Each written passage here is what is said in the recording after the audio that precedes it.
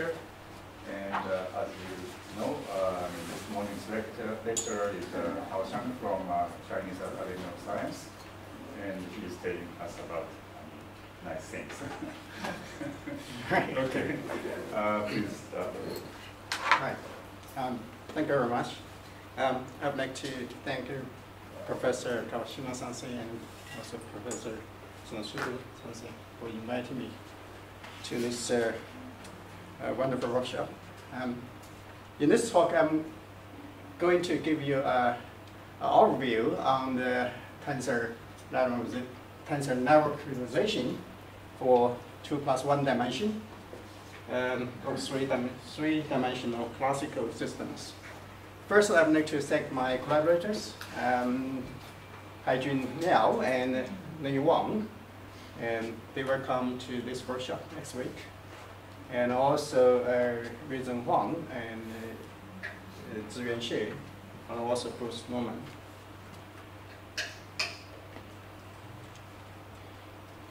So um, I will divide my talk into three parts.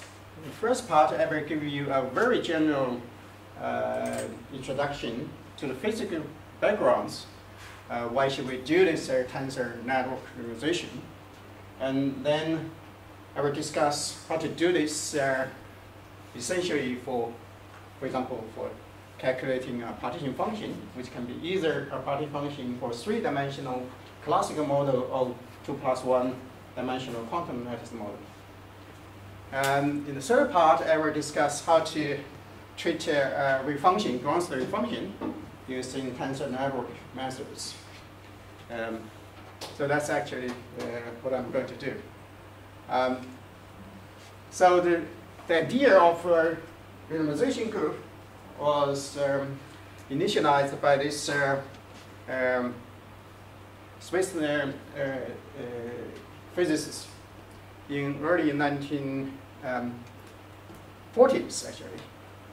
Um, he submitted a paper to uh, Physics Review and, uh, and it was uh, almost immediately rejected because no one could understand what he's talking about. Um, a few years later, uh, in 1951, he published another paper with his um, uh, collaborator and uh, in, in a French journal so not many people notice that. And at the same time, um, just one year later, Gell-Mann and Low and published their similar work on uh, on the renormalization group. That's actually the start of this uh, field.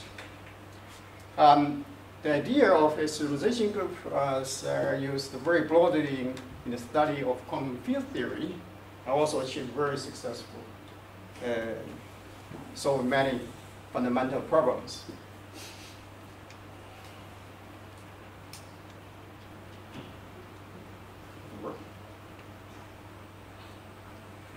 In um,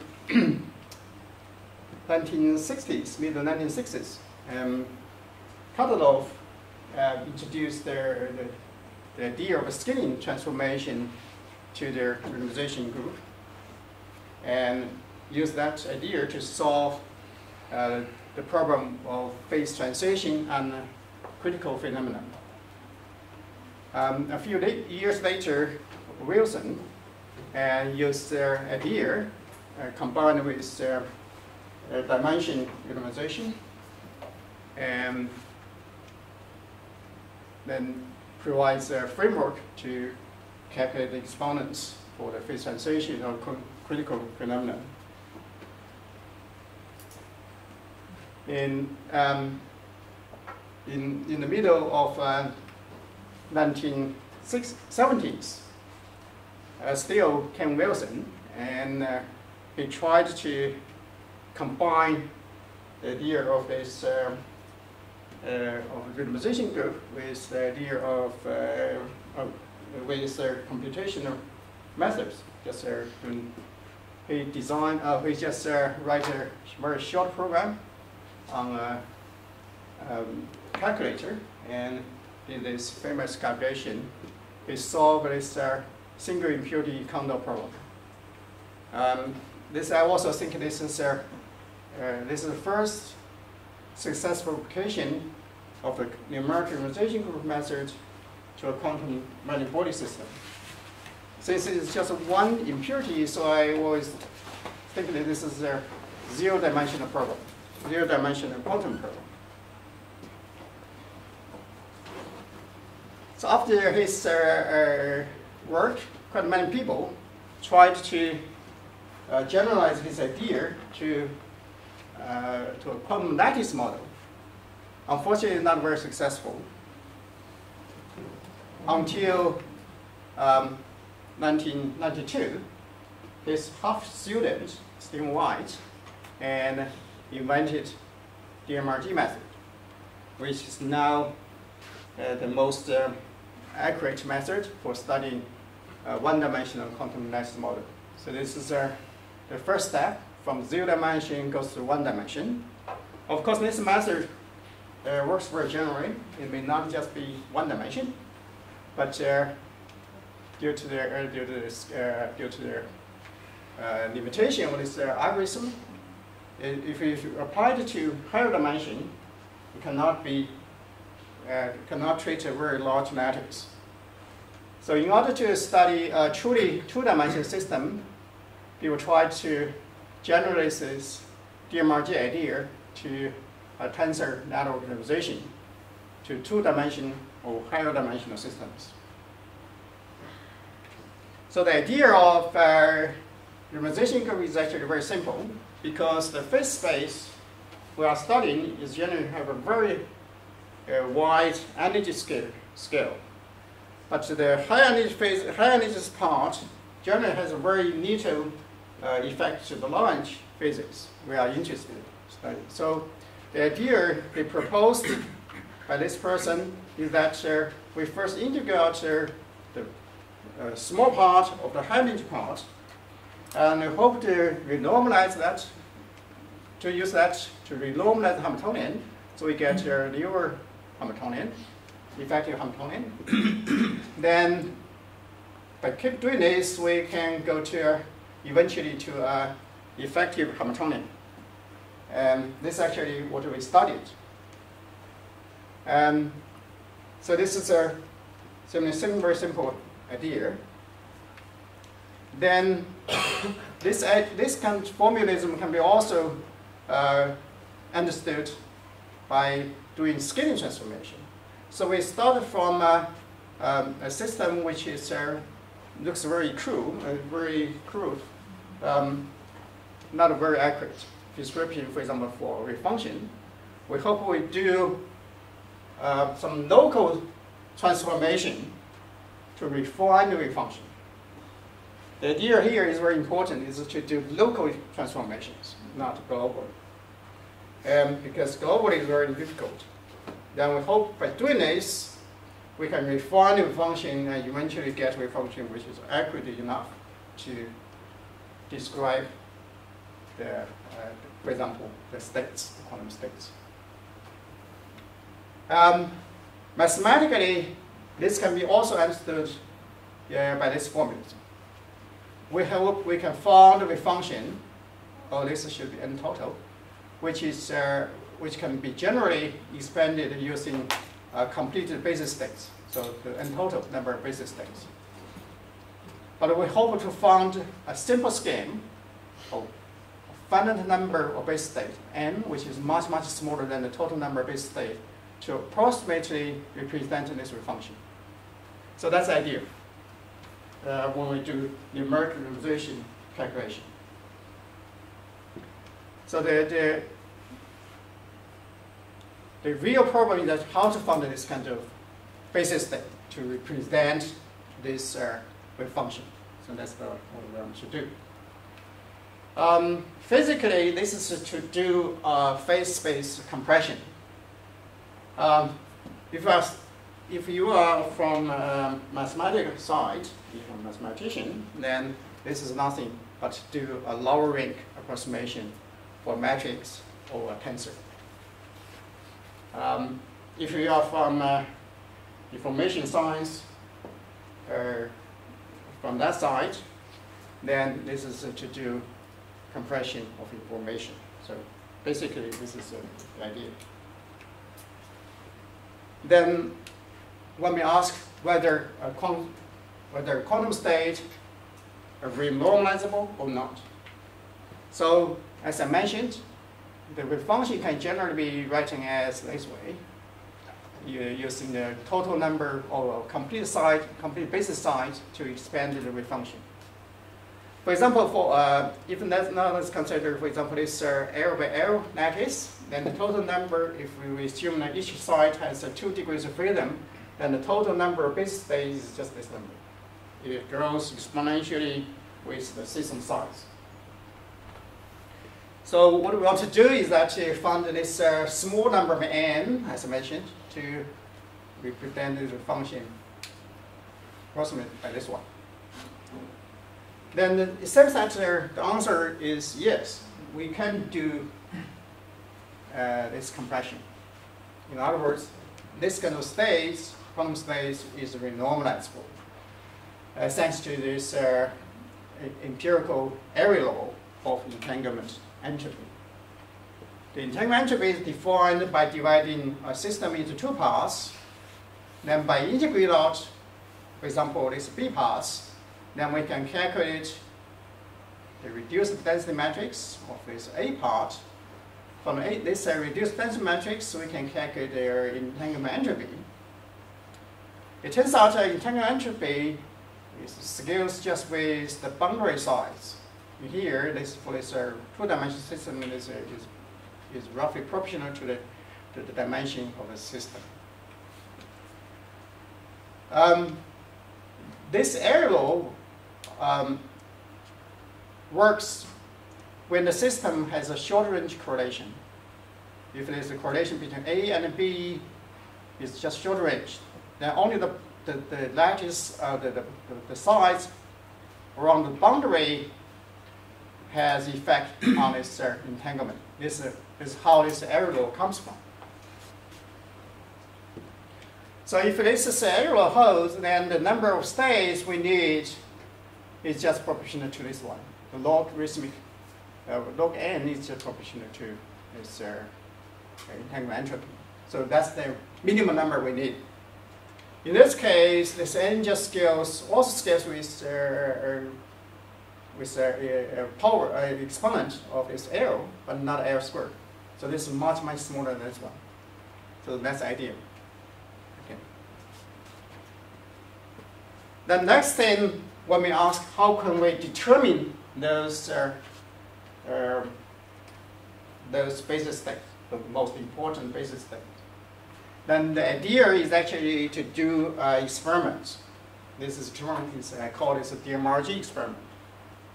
It's measure the entanglement. This is like do like, like to do a experiment, like a pump and pop. In this case, we use one subsystem to, to probe the other, sub, other part of the system. So that's their, this is a quantity we measure. This is reduced density matrix. Okay. That's the idea.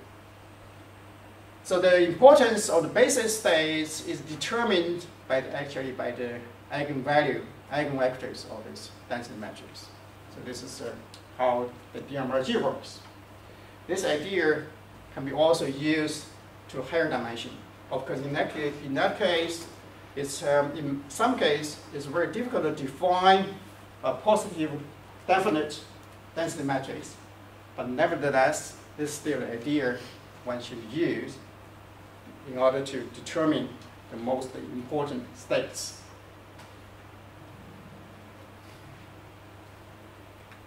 Um, there are many, many kinds of functions that can, can be designed to satisfy the area. Law.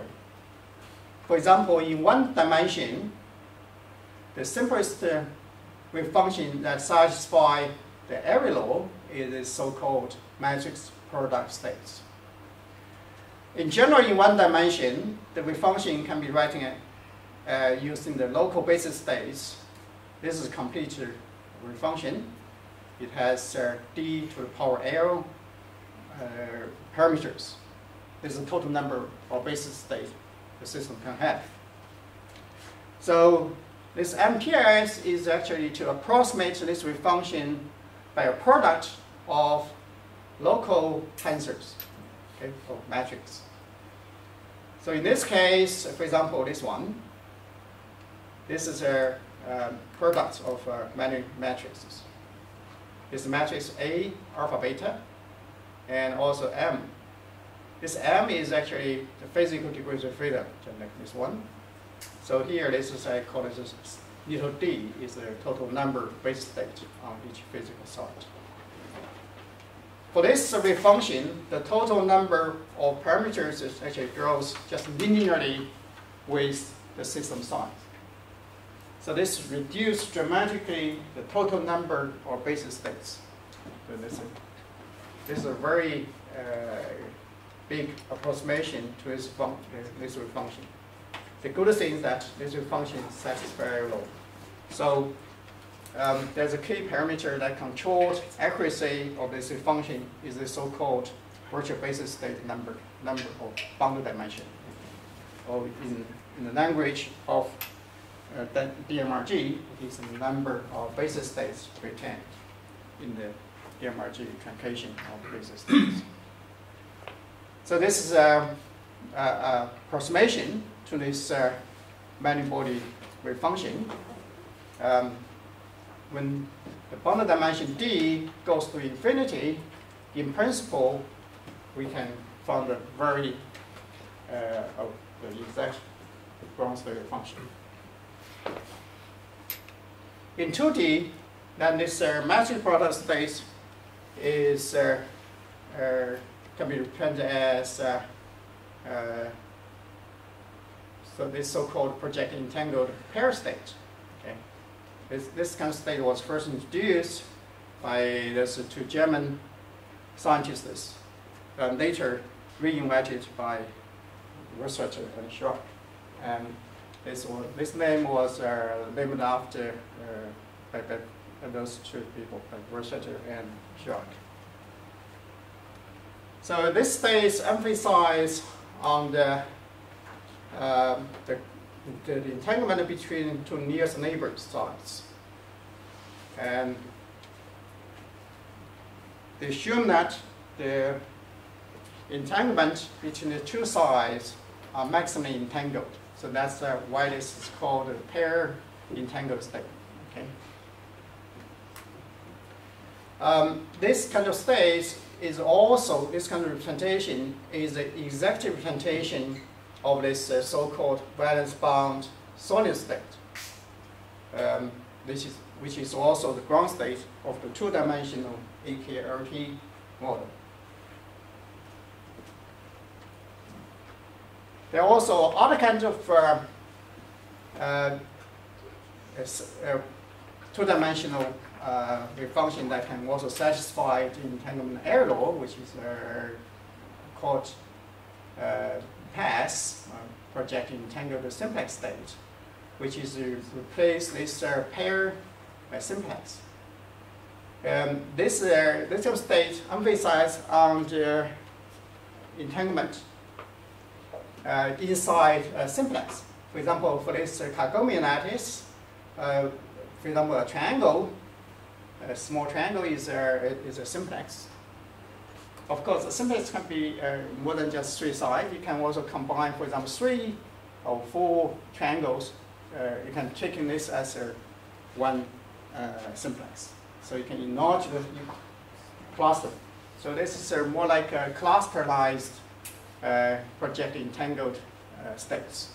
Okay. Uh, for example, just for this stage, if we compare this one, for, for this, uh, this uh, tensor, uh, the local tensor has five indexes. But, but this one, each side has only three indexes.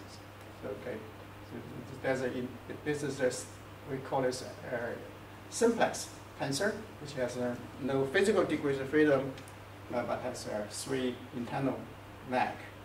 So it's a three tensor. And also there's a projection tensor, which is a very like a one-dimensional uh, matrix cross space, which also has three indexes. Again, it's a ring three tensor. So this function uh, is uh, has much fewer parameters than this one. in principle, it's easier to treat. So this is kind of um, a state is also an exact representation of a state called simplex solid state, which was initially introduced by uh, Professor Arovas um, in 2008. Um, this state also emphasizes on the uh, entanglement among a simplex, which is at each simplex. Um, she's assumed that the states form a maximally entangled state. So that's Like, that, is like each site also represent for uh, the, the site in the original lattice. That's right. This is a Kagome lattice. Let me just, uh, oh, sorry. If we compare with this one, the physical side is still uh, on this, uh, the vertex of the each triangle. But here, there's extra tensor, which is uh, completely internal tensor.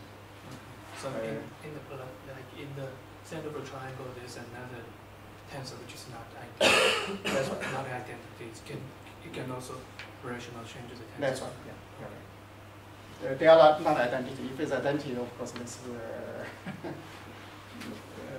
has no use. Okay.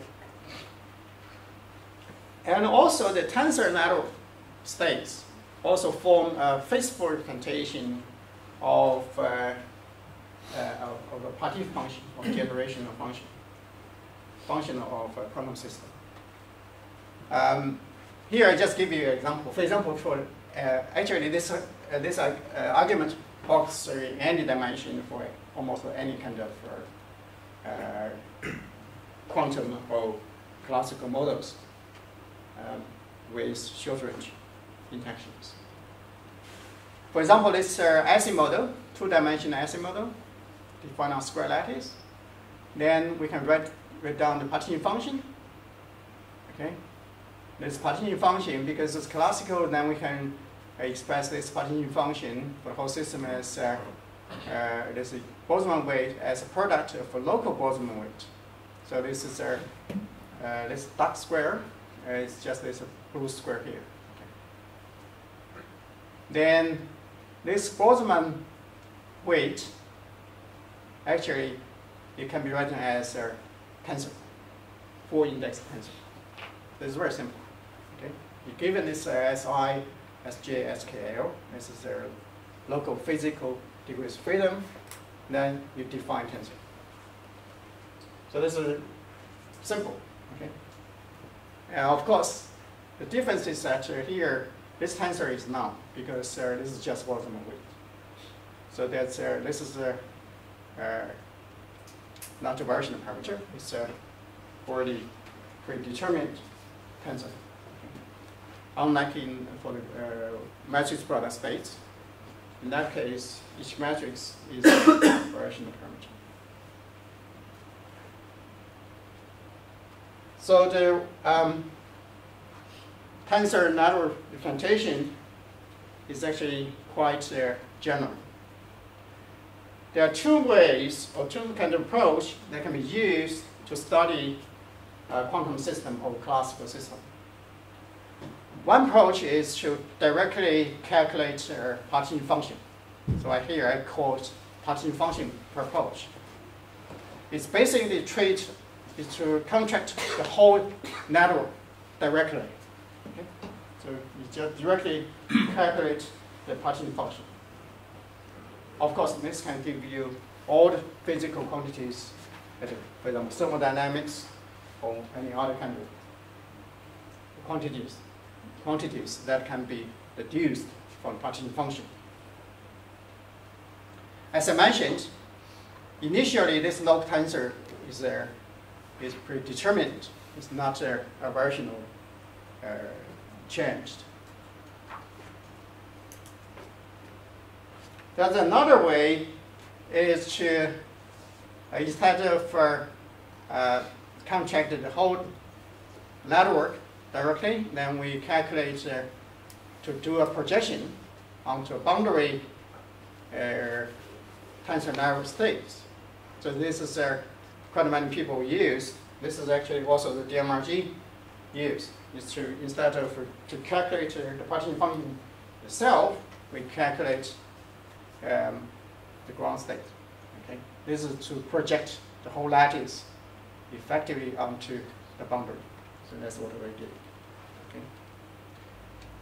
But with the projection, of course, uh, this reduces uh, this two-dimensional system into a one-dimensional space.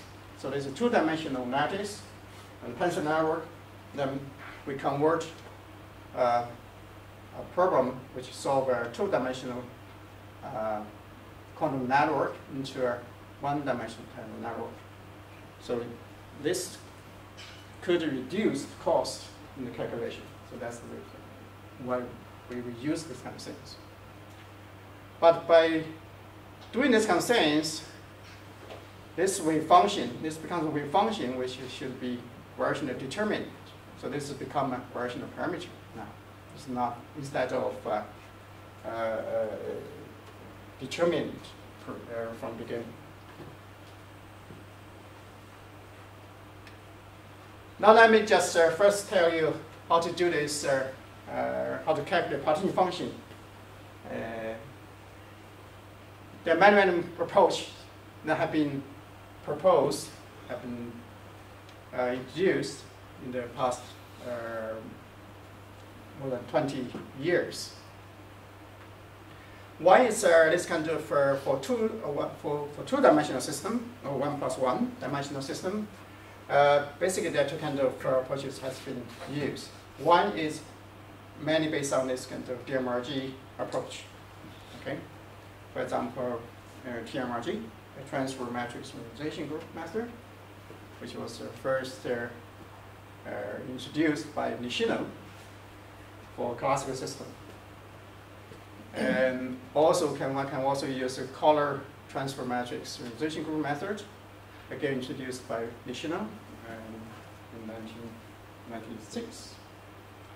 Uh, another approach is to, uh, to do direct projection using matrix, matrix products states. This is the method first introduced by Vidal, and people also call this uh, TEBD. Okay, so that's the method. Um, another kind of method is uh, basically to do scaling transformation or coarse graining. This kind of approach was uh, first introduced by Levin and Nave in 2007. Um, in that work, they introduced this uh, so-called TRG method, tensor renormalization group method. Okay? And later, then we refined this method by, um, uh, introducing uh, further renormalization, considering, considering the interaction between a local tensor and, and an environment tensor. We call this a second renormalization group method. And later we also introduced a, a, a tensor uh, SVD, which is a higher order singular value decomposition method based TRG method, we call it HOTRG method. And in recent years, and uh, a number of uh, variations of this kind of TRG method was introduced by, um, for example, uh, Evenbly and Vidal, and also by So Young. And those two approaches uh, were, were uh, good at the critical point. So then, let me just uh, uh, tell you uh, briefly about the idea of coarse graining uh, TRG. Okay. Um, this method um, just uh, uh, works in two steps. The first step is to rewire this, uh, for example, this honeycomb lattice into this decorated triangle lattice by doing uh, very simple mathematical transformation. This is mathematical transformation, is just singular value decomposition.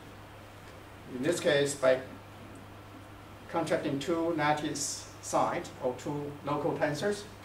Then one define uh, a new tensor, just one side tensor, but by um, combine lower two indexes as one index as a matrix, and then upper one, then do a um, singular value decomposition.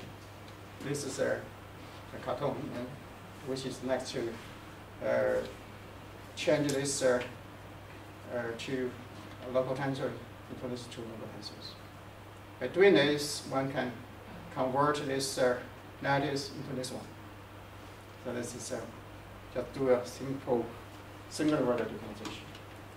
And the second step is actually to uh, to contract each, each triangle internal bond, then one define new tensor. So by doing this, we can reduce this uh, honeycomb lattice to this one uh, by reducing the, the size. So the lattice go, goes back to the honeycomb lattice, but the total number of size is uh, reduced by a factor of three. So that's all I share. Uh, a very simple idea. Of course, when you do this decimation, then we need to truncate this uh, this uh, thick uh, bond because the bond dimension here is this bond is d squared. If the original one, original bond dimension is d, then this is d squared. I keep doing this uh, each time is squared. So now in this case, one need to truncate this. The truncation is done by uh, based on this uh, singular values. So the smallest singular value is discarded. We just retain the, the largest singular values. So that's the idea. Um, then you may ask how good this kind of method can, can be. For example, for this uh, two-dimensional Ising model, if we keep 24 states, then that's uh, the relative arrow of the energy. Um, it's a 10 to minus 5. Seems good. Not too bad. Um, if I go back to here, then you will see that this kind of optimization is clearly just a local optimization approach. Okay? So it's not a globally optimization approach.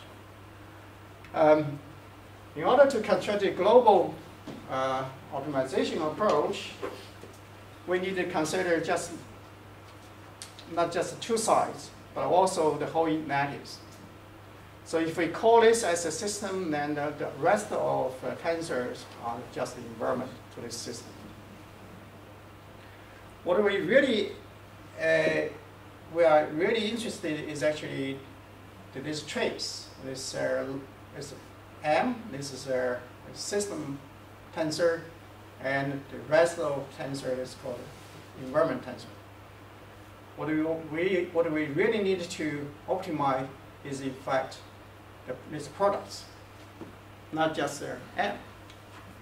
so in this case, uh, we need to find a new approach to optimize the truncation or to, to minimize the truncation error. But we call this a second optimization group method. So in principle, this is a global optimization approach. Um, then people may ask, how can we do this? Here, the most important thing is to calculate this environment tensor, which is the, the whole uh, partition function uh, except that there are two tensor missing. So that's the only thing we need to worry about. Uh, it turns out uh, this can be, the environment tensor can be, for example, be approximate calculated using TRG, using a local optimization approach. For example, using the same scheme I told you before, then this uh, tensor can be changed to this uh, decorated uh, triangle lattice with two, with here just uh, some bonds missing. So that's actually like then by keep doing this, in principle, one can find the uh, from the environment tensor. or environment tensor. Um, this is actually one step. How can we realize this uh, uh, environment tensor? So this is the original environment tensor. Okay. Then by one step varying, we get this one. By contraction, by that contracted is a each triangle, then we get this one. Okay. This one looks not very like this one. Okay, they are not exactly same. But if we divide this, uh, oh, cut this part, just this middle one, cut this part from this one, then we get this one.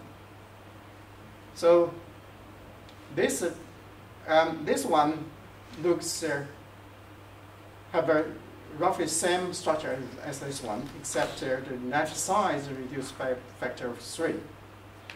Uh, of course, you need to rotate it by uh, 90 degrees. Okay, this one is the same as one. Okay, so they have a one can get a um, recursion form formalism. Just this one.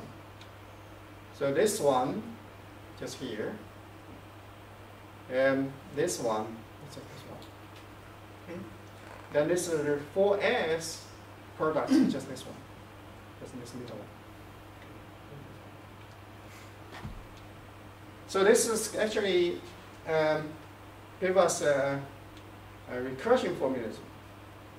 Um, that suggests that one can first calculate uh, this uh, the outermost environment, then goes back to the, the original one. Okay? Instead of doing calculation to do the calculation this way, from, from this side to, to here, we do the calculation from from the outermost uh, environment. This is uh, um, sorry. Okay. Okay. So this is um, I call this uh, back propagation. This is uh, from from the uh, outermost one, then goes to the original one. So this is actually, namely, we, we if we know this one, we can use this formalism to calculate this one. So this is a, this is actually very similar, I should say, very similar to the out, uh, to the back propagation in automatic differentiation. So this is actually quite a new technique that is used in machine learning. And also recently we tried to use this method to do to optimize uh, algorithm for tensor network renormalization. So and anyway, I should say this kind of idea is very similar uh, to the back propagation in automatic, automatic differentiations. Um, later, I will briefly tell you how this works. Okay. Then let me make a comparison. This is the, the uh, result I showed you before. This is the original TRG method. If we consider the uh, second renormalization uh, to the system, or this is the globally optimized approach, then indeed the accuracy is improved. What is the difference between Bowman's SRG? All right. Um, here, the Paul, um, SRG is, um, maybe I can tell you uh, after my talk. It might take a little longer time. Okay. Um, the, the, the idea is that uh, uh, because in order to calculate this uh, environment tensor, is, it takes, uh, uh, cost is relatively high. So we we just try to find a very simple scale. Uh, instead of calculating uh, the whole, contracting the whole tensors, we assume that each bond linked to this environment, we assume there's an effective field here, just on each bond linked to this environment. This is like a take a mean field approximation, okay? And we assume that there's a, a, a- there is um, effective uh, field on each bond. That field is actually entanglement spectrum. Uh, this is the approach we use for SIMPOCKET. I will, I will discuss uh, this later. So from there, you can understand what I mean by a, uh, an effective entanglement in field approximation. Okay. How are you getting the, the ground truth? How, how, what are you comparing this? Oh, this is because of this uh, this two-dimensional system. Ising model which is. Okay. So we have uh, express, uh, exact expression. This is uh, For a finite system size, or, uh, for finite or for infinity. okay, Yeah. This is there for infinity system. Okay. The temperature showing that the constant behavior corresponds to the trans transition. This is a critical point. Yeah. Yeah, that's right. So um, you can determine the critical point from this uh, uh, from, from the, the, the peak point. Of course, uh, in real calculation uh, for, um, for unsolvable system, you do not know exactly will function of free energy. In that case, you have to determine this critical point from other uh, quantities. Now let me just make a further comparison. Um, for example, if we compare with, uh, uh, uh, for example, the TMRG, okay, or DMRG, okay, basically, or CTMRG, or iTEBD. This is uh, the result I showed you before. This is TRG. This is uh, roughly, uh, uh, this is actual TRG. This one, I, I didn't discuss this method. And then this is uh, uh, SRG or actual SRG. Okay. But if we compare with, um, for example, CTMRG or iTEBD, then the error bar is basically zero, for machine error. Okay. Uh, except at the critical point. Even it, just at the critical point, the error is still smaller if we just use uh, CTMRG or iTEBD. So if we just want to calculate uh, the thermodynamic quantities, actually this two method works much better than other methods. okay.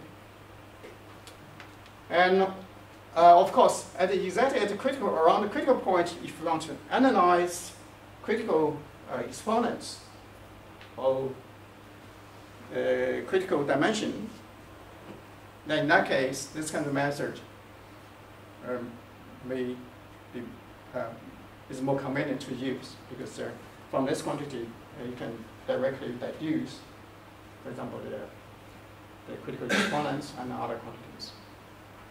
But if you are just interested in the thermodynamic quantities, actually for, for one plus one dimension or two-dimensional classical system, I just suggest you, just use TMR, uh, CTMRG or iTEBD or this kind of method. Okay? There's no uh, this this kind of uh, coarse graining approach actually doesn't give you a better result. Do you have any comment about the computation cost? The compute, computational costs are this two also much smaller than those uh, coarse graining approach. So in that sense, I just suggest you, if you just consider, for example, one plus one dimension, or two plus uh, two dimensional classical system, if you are just interested in the thermodynamic calculation, then that's the approach I suggest you to use. If you are interested in not more than that, just uh, I want to just calculate at the exact uh, critical points to calculate, for example, exponents or other kind of just critical properties. Then this kind of coarse graining approach can be used. That may generally uh, uh, can give you directly a measure of quite many different quantities. Excuse me. Yeah. Why, why, why coarse graining algorithm is faster than the uh, ITBD or CTMRG approach? Um, I think just because uh, in this kind of sense, um, for this kind of uh, approach, or coarse graining approach, the error is cumulative, at every step of uh, when you do the coarse graining. But if you, for example, use uh, iTEBD to do projection, you don't care about uh, the accumulation of the error. Okay? The number of renormalization step is It's uh, bigger, but uh, every time you, you just start from new starting point, then you don't know where you don't care about the arrow uh, before. So we just start from new states. So only the last step, the arrow bar is is, is important. Okay. So there's no no error accumulation at uh, when you do use this kind of methods. But, but I, I think in the case of SRG, like Yeah. I thought you, uh, I, you, uh, naively you optimize the whole stage of the normalization. Yes. Yes. So I, I naively feel that there is more accumulation. Uh, Um, you, c- in that, y- y- yes, but uh, uh, the, the trouble is that uh, if you use SRG, and uh, the accumulation error can be reduced. Okay, it's not completely uh, just uh, uh, smear. Because uh, the, the reason that SRG has some error just because uh, the environment tensor, we still calculate environment tensor using the, the, the, the, the local optimization approach. So if that environment tensor can be calculated exactly, of course, yeah, you are right. Yes. So is it possible to extract the critical exponent from the convertible MTS? Uh, in principle, yes, but it's very complicated. Okay, so um, not actually not many people trying to do that. Okay. Because uh, in, in DMRG, uh, uh, generally the net size increase just by one side.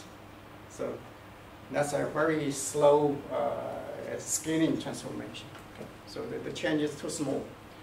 Uh, that change may not give you very uh, good protect of the critical uh, scaling behavior. Now you may ask uh, whether this kind of approach is really useful, okay, so this kind of approach. Uh, actually, it is useful only when, if you want to consider the uh, system which is a 2 plus 1 dimension or 3 dimensional system. Because almost all this kind of approach here introduced, and also most of the approach introduced here, cannot be easily used in 3 dimension or 2 plus 1 dimension. Okay? In principle, every method can be extended to 3D. But either cost is too high or the method may not really work very good in three dimensions. It turns out uh, this is a this is the method which can be relatively easy to extend to three dimensions. Okay. So this is a we call it so-called as a HOS, HOTRG method, which is a very simple method based on the uh, higher order singular value decomposition of a, of a tensor. Um, all other methods works only in one plus one dimension or two dimensions. Okay, but this method, so I will tell you uh, later, uh, is actually a method that can be extended to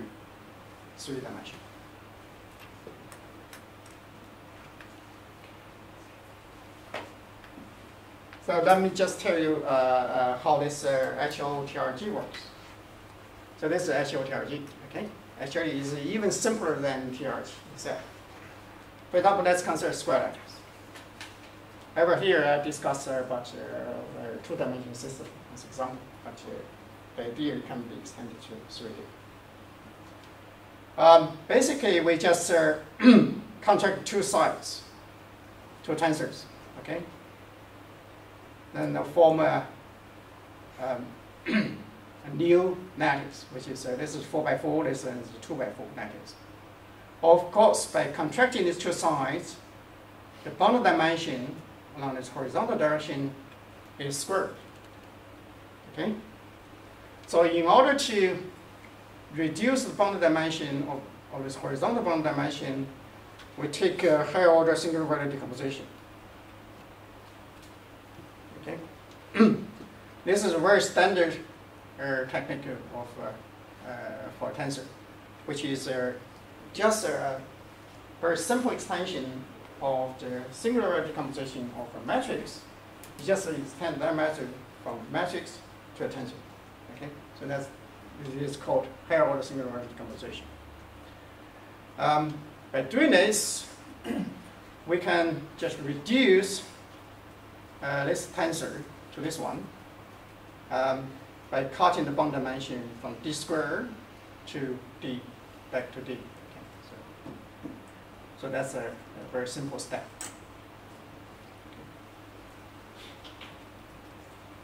Um, it's also very easy to code this kind of uh, uh, transformation. Okay, so, so you just call uh, write down a very simple uh, SVD version of a tensor instead of a matrix. That's the only thing we need to do. So there, the first step is to do uh, for this uh, four index tensor. Is uh, combined just uh, just single. This is one index. It's a four index tensor. Then one do uh, uh, this HO SVD, okay, higher order singular value decomposition, using four unitary matrices. This is U, uh, L, UR, U, U, U, and UD. Okay, it's four U indexes, uh, uh, unitary matrices. Um, this uh, in in the matrix um, uh, singular value decomposition. This is uh, S is just a diagonal matrix. But here you cannot diagonalize it. It is still uh, tensor, but it has a very spe a special structure. It ordered uh, in some way, then means that uh, first, for example, D, um, for each index, the first D uh, states has a larger weight, then the rest has a lower weight. Then you discard that kind of lower weight uh, spectrum. So this is uh, like to just uh, to contract uh, boundary dimension along this direction. And doing this, uh, one can convert this one into this one. So this is the second step. It's just uh, do a very simple uh, contraction for the for the for uh, horizontal bonds. Just this one, just reduce this uh, asymmetric measures. Uh, of course, uh, the, the method I told you is also a local optimization approach. One can also globalize it by calculate environment tensor, the contribution from the environment. This is a secondary normalized HOTRG method, okay? So we call it HOSRG. So this is a the this is the environment tensor because we just uh, uh, cut the middle uh, two signs. Again, this kind of uh, environment tensor can, can be calculated by, uh, for example, using HOSRG, HOTRG, sorry, um, with the back propagation.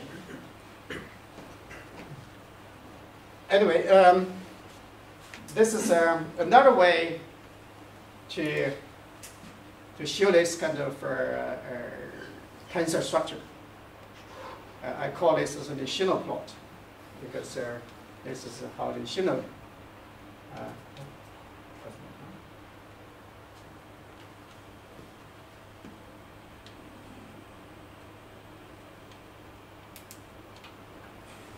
um, this is the plot because uh, the middle one this is the original two tensor. Then this is a uh, this is a unitary transform. Uh, this is an isometric matrix. This is U, U1.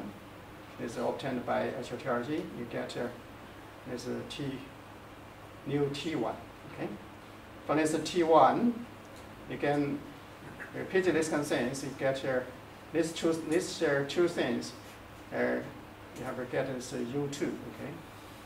Then for this U2, you get uh, this T2, then U3, then T3. Okay. Anyway, this is another way to represent this kind of uh, square lattice. But uh, you can, from this, you can see the, the, the, the, the hierarchy of local tensors. Um, so basically, this is uh, how this uh, T, uh, uh, T uh, local tensor is defined. Okay. So there's two uh, local tensors combined together and do a transformation of truncation by this u unit uh, by this uh, isometric uh, tensor u, then get a, a new tensor in the next stage. Here we have another parameter here. This is C. I call Cn. This is a normalization. Is a normalization constant.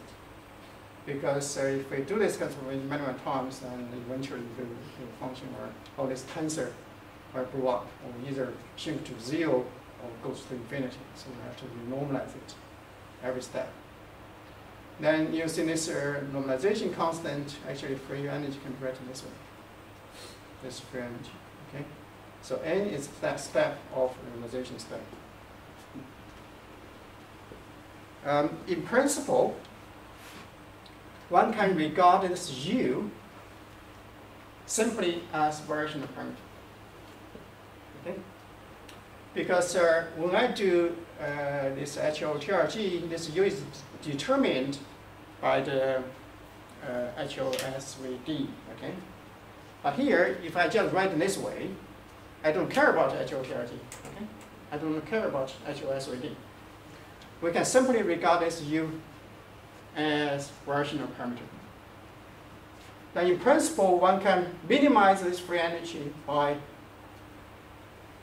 optimizing this U matrix. We don't care about it whether it is unitary or, uh, or isometric. We just know it's matrix. Okay?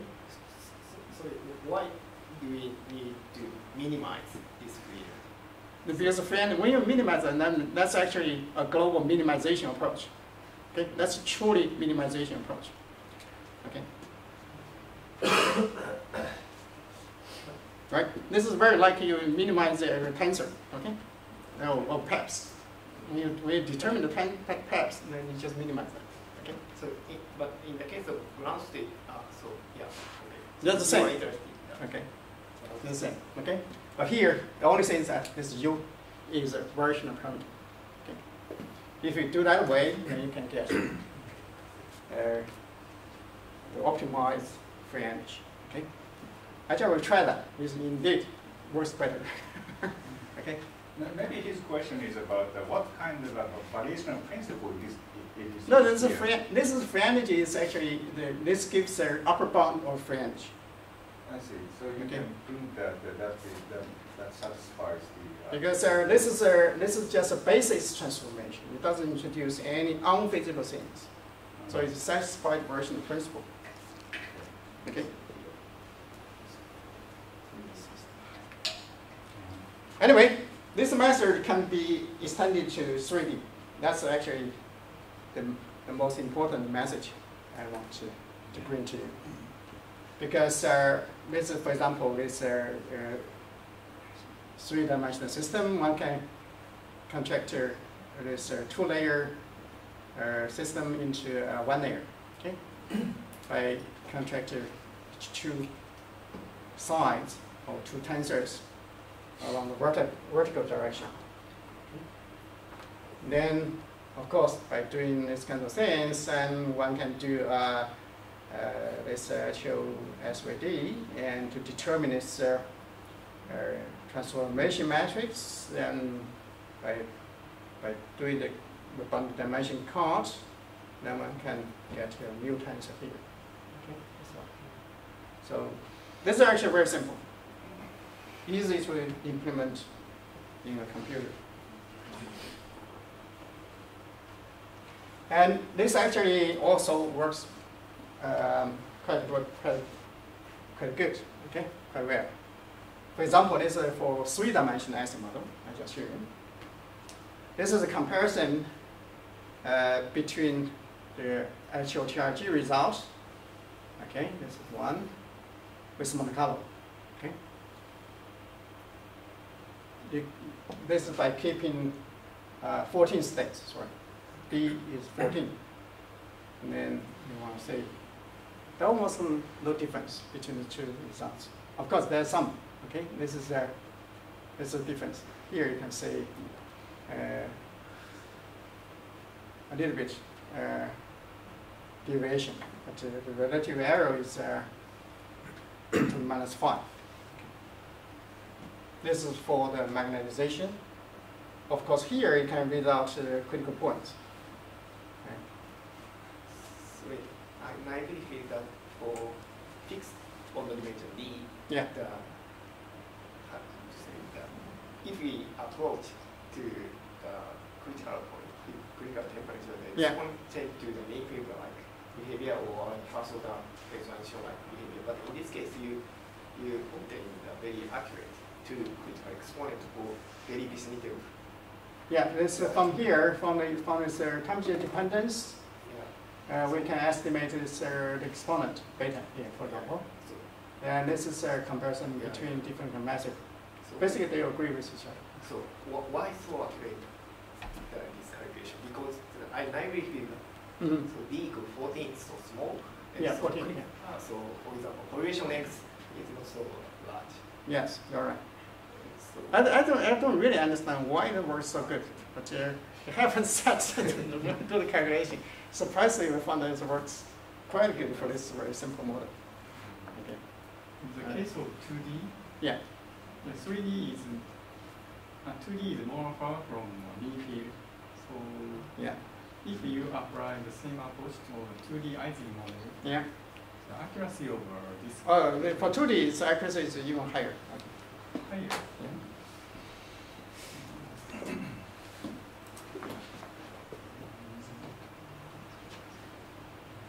it is uh, a little bit uh, lower, but uh, still good enough. Okay. Then this is uh, free energy. Oh, sorry, this is uh, internal energy. Sorry, this is internal energy. This one, uh, because there are no Monte Carlo results. Uh, this is with heat. Okay. Then compare with uh, this uh, solid line is the version of Monte Carlo results obtained from this group. You can also say this is agreement with uh, the two-kind approach, uh, quite good. So how large is the size? Oh, this is uh, because every time we shrink to the lattice size by two, so when we do the calculation, it's basically infinity. Uh, Monte Carlo is, uh, I forgot, it's about, uh, it's quite big. Could be just uh, uh, 1,000 cubic, something like that. Uh, it's quite a big uh, lattice.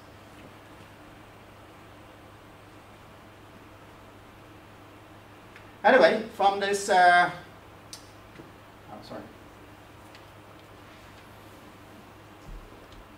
From this kind of uh, divergence or the, point here, one can read out the temperature or the critical temperature. So that's uh, the result we obtain. For example, by keep d equal to 16, we get this number, converge to the number.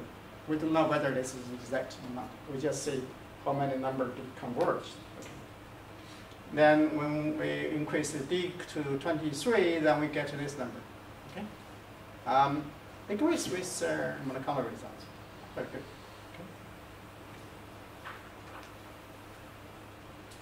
Of course, we can, we, we can use the other kind of approach to, to, to even get a better results. But anyway, this is a very simple approach.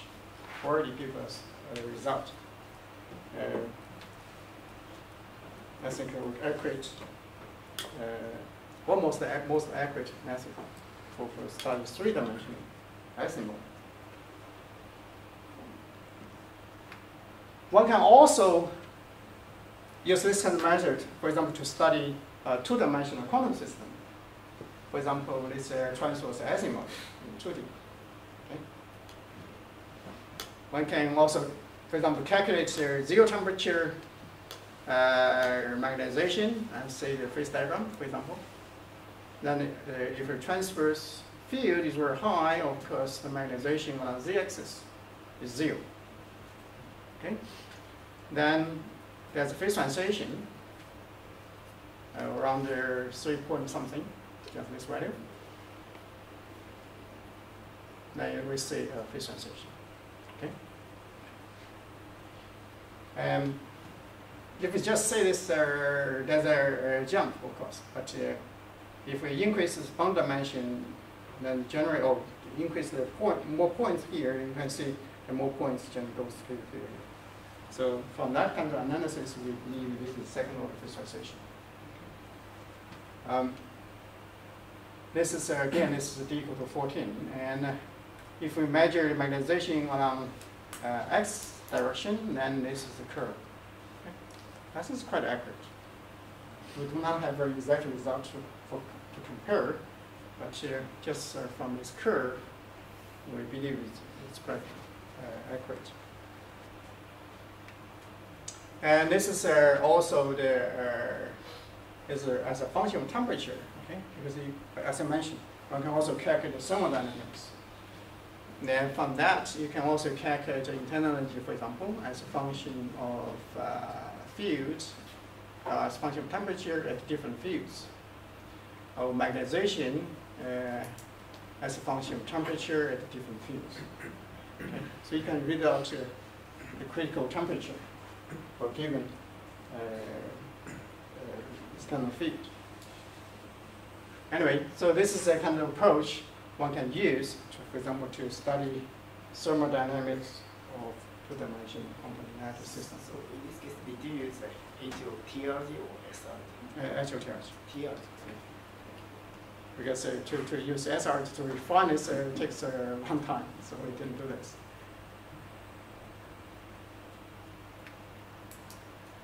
Okay, so I just uh, tell you how to directly evaluate uh, the partition function itself, okay?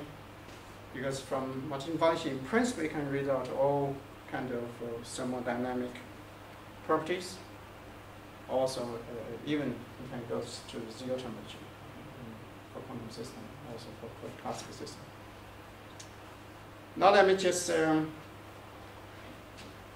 um,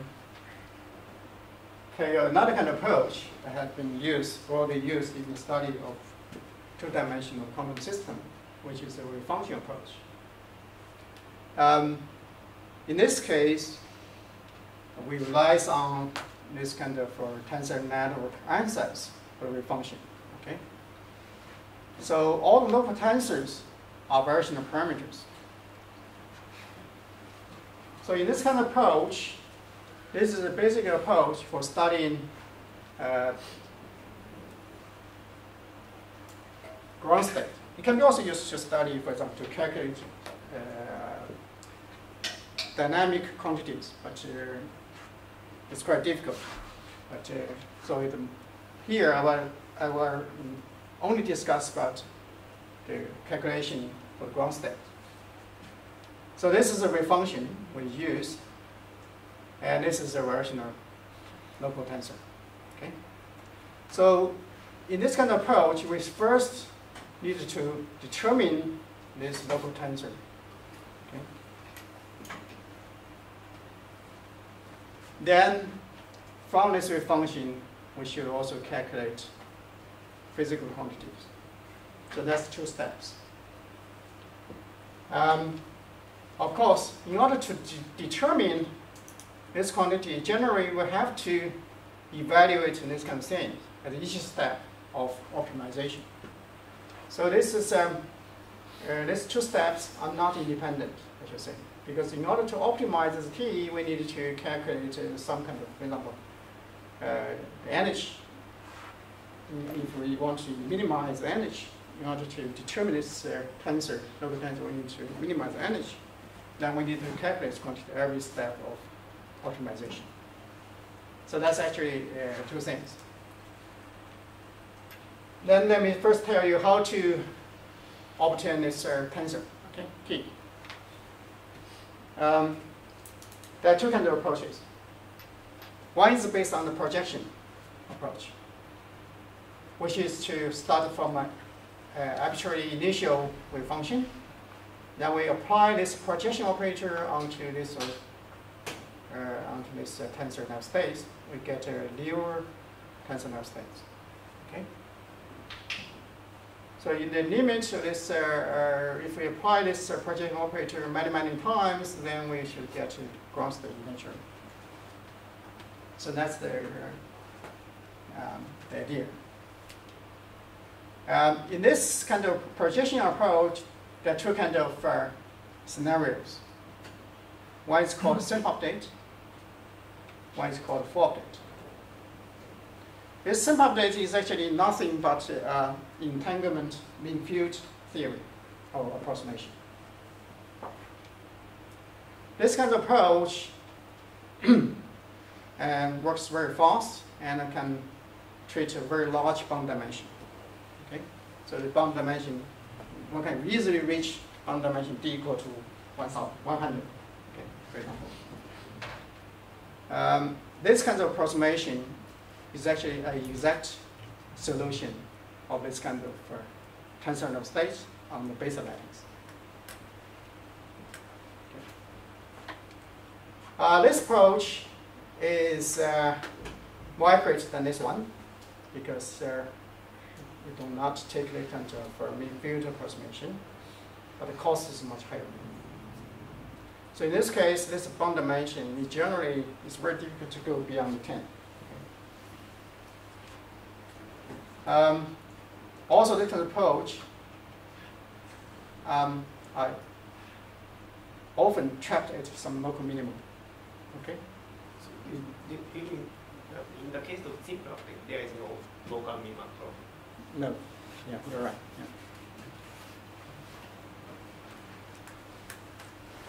It is a local minimum. Okay. Because this is a basically a local approximation.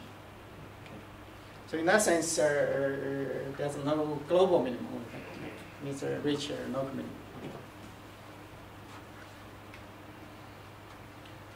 So um, there's another approach is to optimize this uh, uh, wave function or tensor just by minimizing this quantity. Okay. Again, here a number of approaches can be used. One can also use simple simple update to minimize this quantity. Just take a mean field approximation. One can do this. Um, of course, in this level, this actually two approach actually give you the same answer. They are not different. Either if you use projection approach, you can find the wave function. You can also use Dixon approach, find the wave function. Okay, to get the same uh, local tensor. Uh, in literature, most people use of approach, variational minimization. Okay. Um, it turns out that this is a, this method works, but generally cost is very high. Um, a refinement of this kind of approach is to use automatic differentiation. This can, this kind of approach, I will discuss a little bit later. Uh, much, works much simpler than this one because you don't need to write down many, many uh, uh, very tedious codes in order to do these kind of things. And also, this kind of approach gives us much more accurate estimation for gradients. That's actually, when you're doing optimization, you need to know the direction where to go. Then this actually also much better. So this gives a much better result than this one in some cases.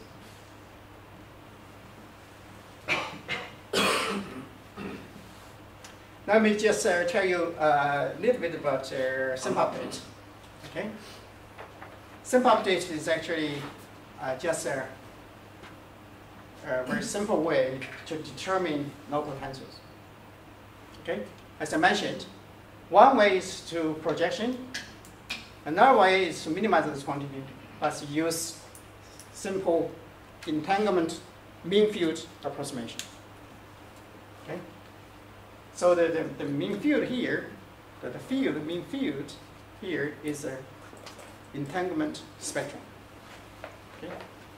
It's not just a just a scalar, it's actually a vector. So the field here, the field here is just scalar, uh, it's a vector. Um, let me just uh, For example, here I just uh, introduce on each bond, we assume that there is an entanglement spectrum vector on each bond. Okay, so that's the, the approximation where the approximation comes from. Okay, so this is theta x lambda y uh, gamma z are nothing but the entanglement spectrum. It's a vector. um, one can determine this vector by solving this kind of uh, um, quasi-canonical equations. Those canonical equations actually are exact on the Bethe lattice, but on the regular lattice they are not exact. They are just simple approximation. So by solving this equation, in principle, we can determine the theta and uh, all, these kind of bound vectors, and also optimize this tensor itself. Okay. So that's actually uh, how this kind of method works.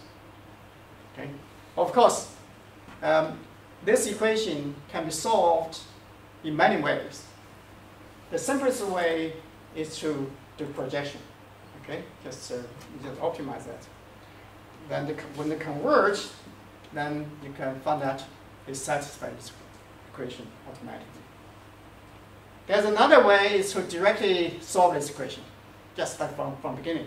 You assume that this is a parameter, this is another parameter constraints, but uh, you just uh, when you, whenever you try, whenever you do this kind of things, then of course you have to uh, consider the Hamiltonian itself solve this equation. Okay. To determine this theta, lambda, and all the tensors. So that's the idea. Okay. So this is a very standard mean field kind of approach. The only difference between this kind of uh, entanglement mean, mean field approach and other kind of things that here this this uh, this uh, mean field is actually is actually not a physical directly physical measurable quantity. It's not order parameter. it's of things. It's just a, um, an entanglement field, uh, which is uh, introduced on the Bethe atoms. So I suppose that we have the phase transition Mhm. in this uh, kind of system. Then uh, that phase transition always uh, has a mean field type uh, similarity or something else? Um, that's a good question because uh, this is not a standard mean field. Right. So this is entanglement, entanglement mean field. So I don't know the answer for your question. Okay. Uh, it turns out it seems that uh, um, it can't go beyond the mean field, the standard mean field things. but I don't know why. I don't know why. Yeah, that's a very good question. Maybe the region where you find the mean field type behavior is very, very narrow. I mean, outside of the region, you, you might observe something. Yeah, could be, something else. could be, yeah, could be, yeah. But we haven't really, I, I have, I, I, I, we haven't really taken this very carefully, watching this kind of new things. Um, Uh, I have a question. yeah, What is the canonical condition for 2D lattice? No, for 2D, there's no canonical equation, no, you can't define canonical condition. This is a canonical, con, uh, canonical equation on the Bethe lattice. Because on Bethe lattice, you cut one bond, separating two parts. Then that, in that case, the canonical condition can be well defined. And so that's there for the, this is a, so if it's uh, on the regular lattice, actually this is not a canonical, it's just a, quasi- quasi-canonical equation. Now let me just uh, tell you a little bit more about lattice. Okay, this is Bethe lattice. Then, uh, because on the Bethe lattice, an important property is that the size on the boundary is actually of the same order as in the bulk. So the, the number of sides on the boundary is actually the number of sides on internal. Actually, they're almost the same. That's all the same order. Then that's actually cause a problem. For example, if we want to convert this kind of things into a regular lattice, Then we define distance. On the um, regular lattice, we define lattice uh, parameter of the, the, the, the, length of two, two sides r. Then if we want to convert into the Bethe lattice, it turns out here is r and it's just log. So that's very important. Okay. So this is a just a we just do a simple convert between these two kinds of distance between regular lattice and Bethe lattice. That is actually very important. For example, if it's a correlation function on Bethe lattice, which just changes exponentially or decay exponentially, but it may just become power law decay on the regular lattice. Okay? So this, this is a very strange thing. Um, this is actually very important because if you calculate, for example, uh, some magnetic susceptibility based on this quantity uh, on this Bethe lattice, because of this uh, rotation symmetry, if we assume the system has a rotation symmetry, then this is a uh, this is a spin-spin correlation function. Sorry, it's actually just uh, uh, just given by this quantity and times a factor n. n is the number of sides on this uh, uh, nth layer of this is uh, Bethe lattice. For example, in the case of this is one point in the middle is just uh, just n equals zero. Then there's three sides on the first layer, and more layer, more sides on the second layer, and more sides on the third layer. So there's n. So this nr is, is uh, generally a function of uh, is a proportional to q minus one. q here is three, and times r. Okay. Now if we convert this one, if we assume this is decay exponentially, okay, just a correlation function here, decay exponentially lattice, then this quantity actually can be described by this expression. So this magnetic susceptibility actually, if this quantity becomes positive, if it becomes positive, then this quantity will diverge when r goes infinity. Right? So this means that uh, correlation length here, this correlation length on the Bethe lattice, will never be larger than this one. Will never be. Because if it's larger than that one, this one will diverge. So the correlation length on the Bethe lattice is always upper bounded. It's finite. Okay? Of course, this is a this this is a one dimension. There's no, no problem because q equal to two. This is one dimension. But if it's uh, more than q is more than two, then it is always uh, upper bounded. Okay.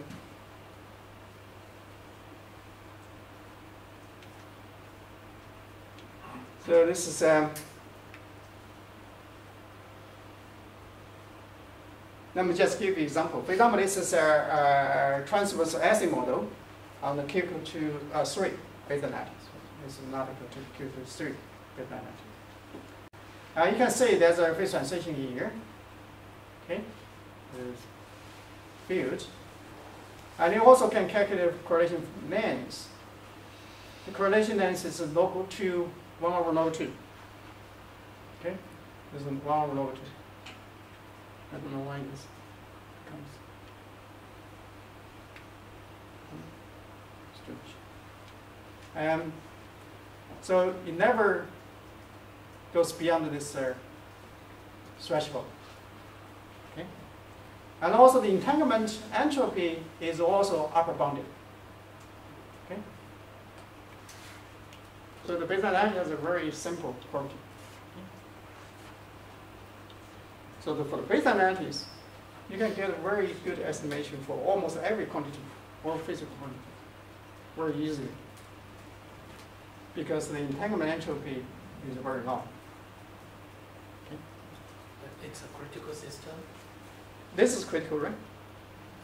its critical system, but with uh, Finite error- correlation and finite finite correlation. Yeah, right.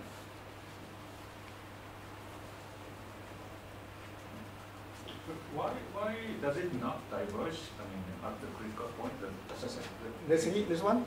right? Oh, you, you were diver- diverged. And this is just because uh, if you increase uh, uh, boundary dimension, then it will become sharper, sharper. Really? Yeah. I see, I see. No, because uh, here, we, you need more points here. Okay. Ah, oh, I see.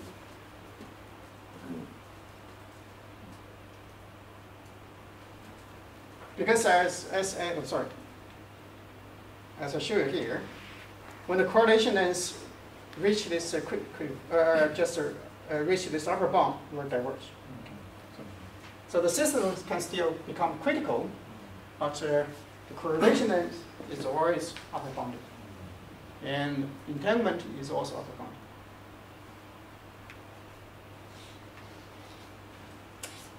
Okay, that's for simple update. So, Now, sorry. uh, so if you apply this simpler to the regular lattice system, what Yes. happens? So I, I likely feel that the wave function itself is uh, same with the wave function of the Bethe lattice. Yeah, that's right. So the only the difference is just uh, So the correlation length may be bigger than this one. There's an upper bound for correlation length, but it's still short range. Okay. Yes. And Because the wave function has a short range character. Yeah. Only this value may not be in there. Okay? There's an upper bound for that. Can be can go beyond this value, but uh, still short range correlation. So simple update always give you uh, short range correlated wave function.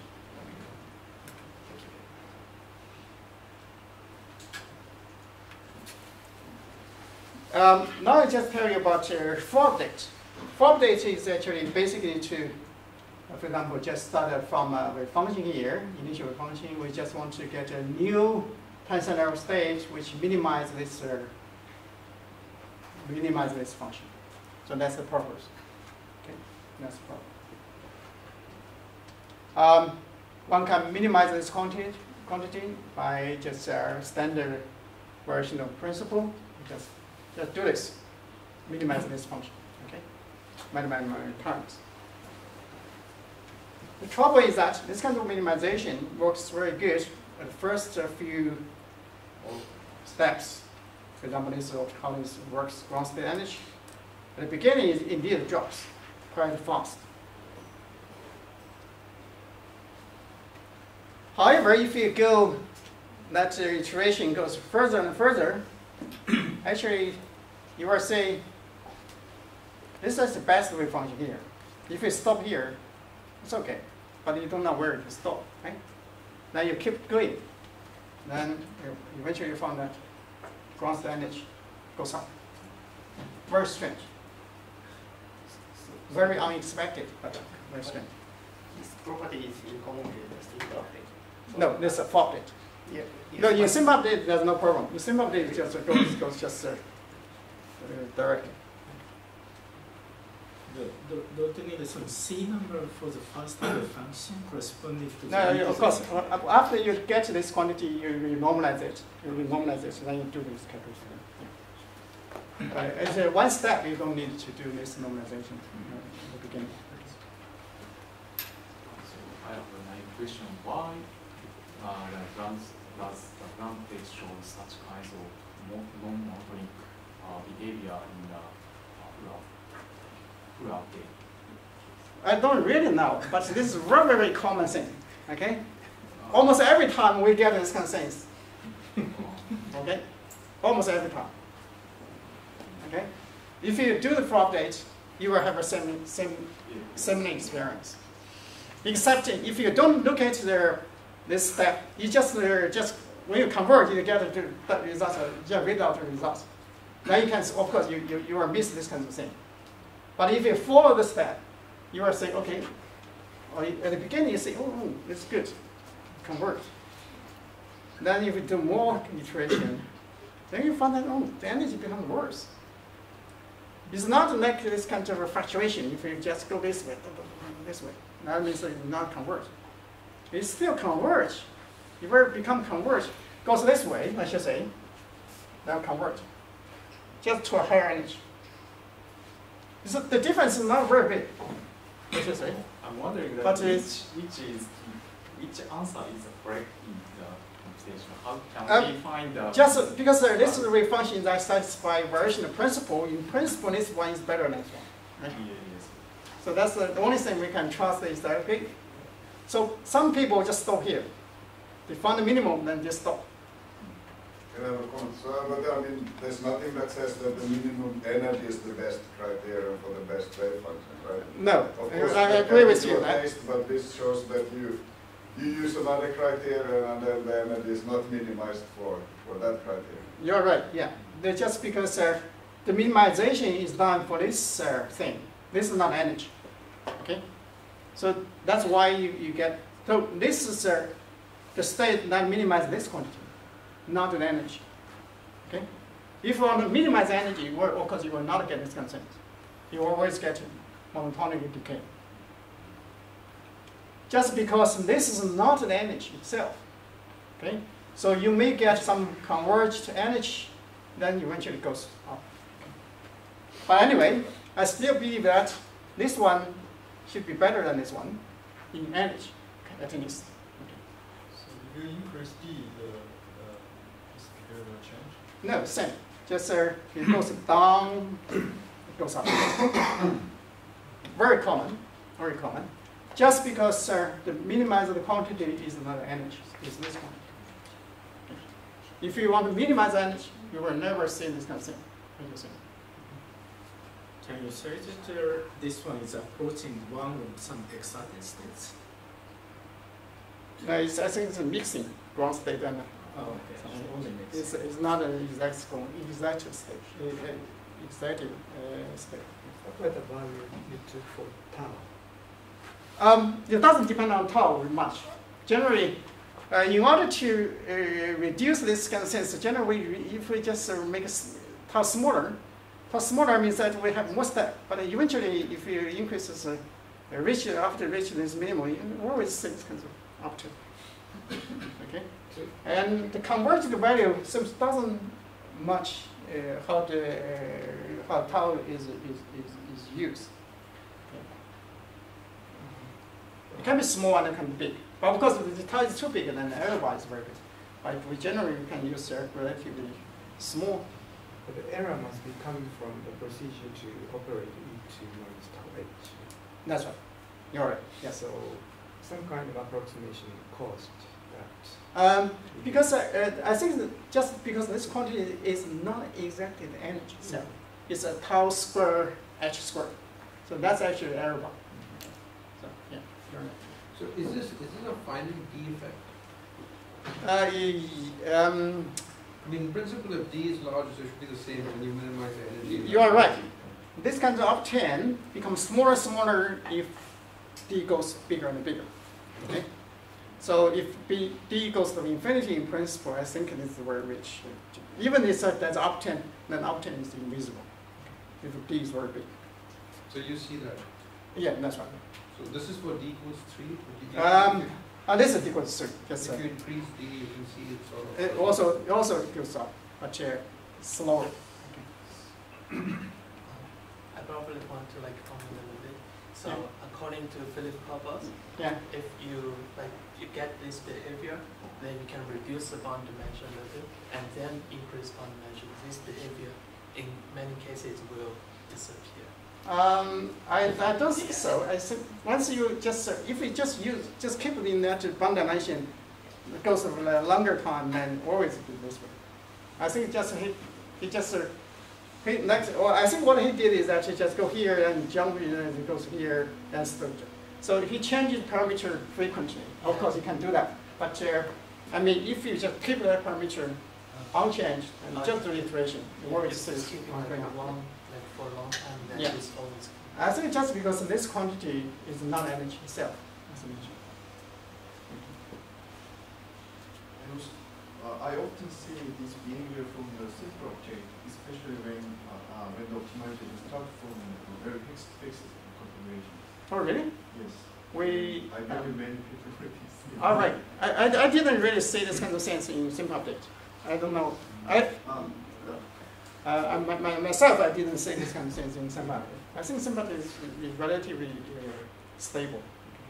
But but I think also the initial condition is also very important. For example, if I start from the random user state, Yeah. then this behavior, yeah, often I see, but mostly it always mon- monotonically decrease. Uh-huh. But uh, yes, as I said, if we fix the user state very for a very specific configuration, then we often see this kind of. All right. Okay. I see. I see.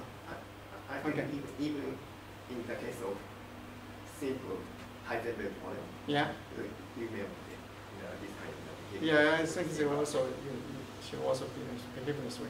If you just follow this very for a long time, yes. If you, of course, many people just stop uh, roughly somewhere, uh, somewhere here, you know, people just stop. I, I wanted to say that even if we use a simplified update, Yeah. you may obtain the, this kind of Uh, yeah, there's no principle uh, preventing this kind of thing happen. But uh, I mean, in, in, in our tradition, or maybe we didn't see this kind of things uh, very uh, seriously. So maybe we missed this kind of thing.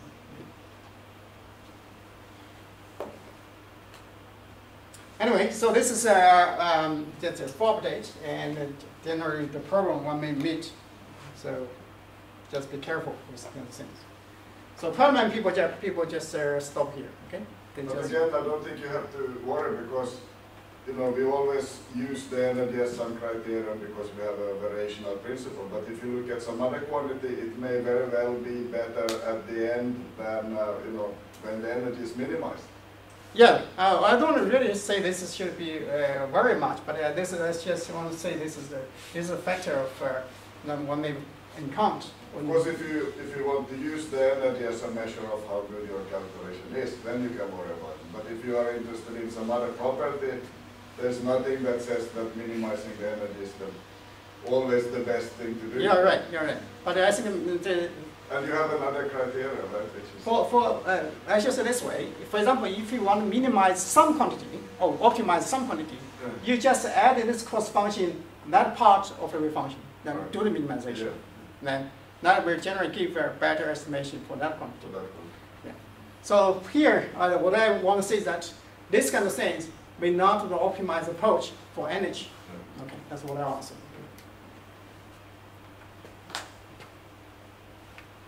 Anyway, then let's consider minimization of the energy itself.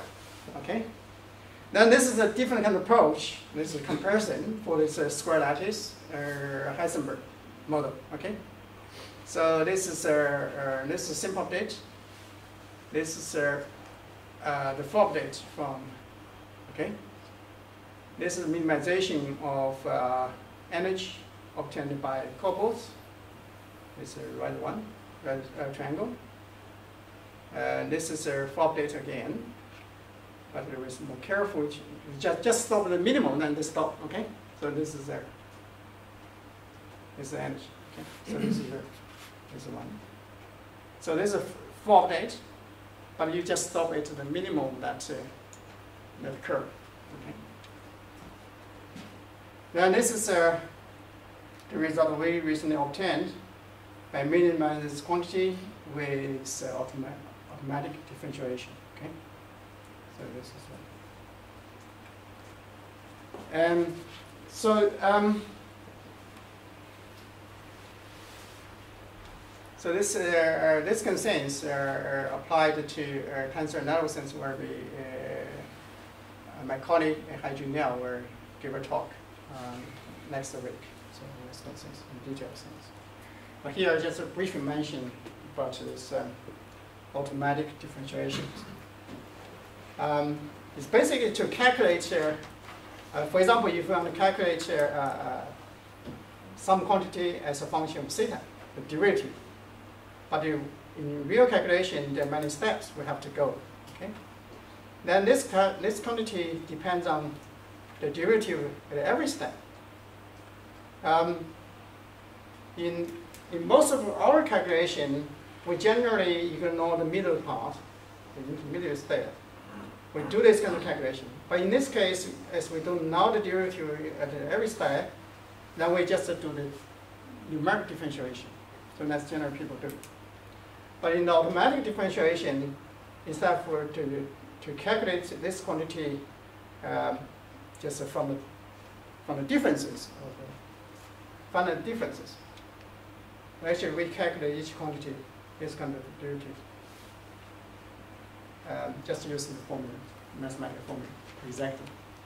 Of course, there's a machine error, okay? I mean, except the machine error, there's no error in this formula. So this is actually a, a, a very uh, a new technique that has been widely used in machine learning. Okay, um, also very successful. Okay, so there, there there's now uh, quite a, a, number of um, libraries has been uh, established for doing this kind of calculations. Uh, but in real calculations, generally instead of for, to do the calculation uh, this way, generally start from this side, first calculate this one, this, this one, then calculate this one, going this way. Generally, actually, people do this calculation this way. So this is like a forward propagation, this is like a backward propagation. Because uh, if we do this way, then you have to remember every step middle step. But if we do this way, it's actually, you don't need to know this. So this is in practical calculation, generally calculation is done this way. This is called back propagation. This is very like SRG. Okay? So the idea uh, is that, uh, or idea are very similar. Anyway, I will not tell you what the, the detailed things about this, how this uh, their things works, uh, it's called calculation is done. The good thing is that uh, this kind of things for most of the functions is already uh, has already been built in the neighborhood, so you don't need to write down everything from, from the beginning. Okay, you just now give the uh, this air what is there is what this theta is. Then of course you, you need to tell the, the step everything, and you can call the standard neighborhood to get get get the results. And uh, also, this is a uh, so the, this kind of things can achieve machine uh, machine precision when you do the uh, when you calculate differential values regions. And the cost is not really much from uh, standard method okay, from uh, differences just uh, maybe a factor of two increases. It's not a very big increase of the cost. The good thing is that uh, use this kind of approach, you can directly calculate any kind of uh, regions, any order of differential values. For example, you can calculate specific heat directly from the beginning. Because uh, if you if you don't do this, uh, generally if you, you have to calculate your internal energy, and from the difference in energy uh, divided by the, the difference in temperature, you can get a, specific heat. That's the, the way we did it before. But with this kind of automatic differentiation, you can calculate specific heat directly using analytic formulas. Okay? So that's good thing. Okay. And just here, just show you an example. Okay. It's two-dimensional Ising model that's with uh, TRG. Okay. And you can also get a much more accurate estimation for the wave function itself. For example, for this uh, Gap's uh, model, uh, if you use a standard way to do the calculation, this is uh, the result that we obtained. So this is the exact result. This is a full update. This is a minimization.